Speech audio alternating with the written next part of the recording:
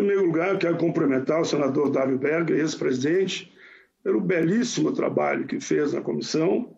E ele deu um destaque, eu também reafirmo, foi fundamental essa comissão no Fundeb.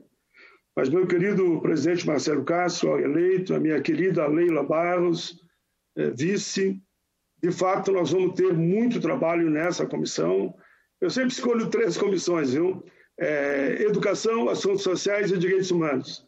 Mais uma vez, o, o PT me indica para essa comissão.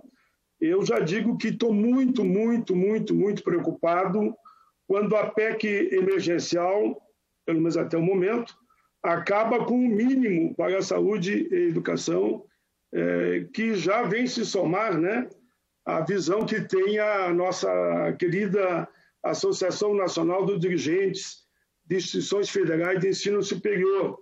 A Andif aponta redução na previsão de despesas discricionárias nas universidades federais em 17,5%. No total, já com essa redução, temos uma parcela de 55,28% em recursos condicionados. Eu só faço um destaque nesses pontos, sei que não é o dia do debate, mas demonstra que, com os senadores competentes, preparados, como é o nosso presidente e a vice, nós faremos um bom debate, faremos o debate público, audiências públicas, tenho certeza, muitas delas serão como essa. Eu sou daqueles que estou no setor, na área considerada os vulneráveis, né? Completa agora em março, 71, e tem diabetes e pressão alta. Mas vou tentar, dentro do possível, estar presente em todas as reuniões dessa comissão.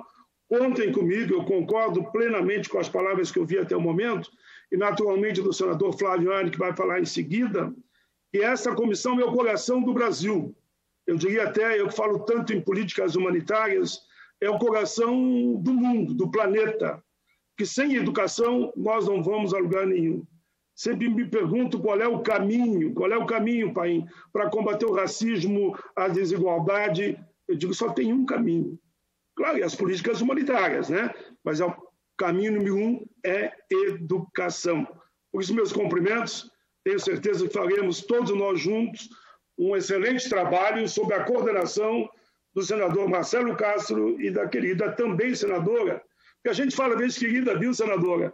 Por que tu fala querida só para as mulheres? Eu não tenho problema nenhum. Querido senador Marcelo Castro e querida senadora Leila Barros.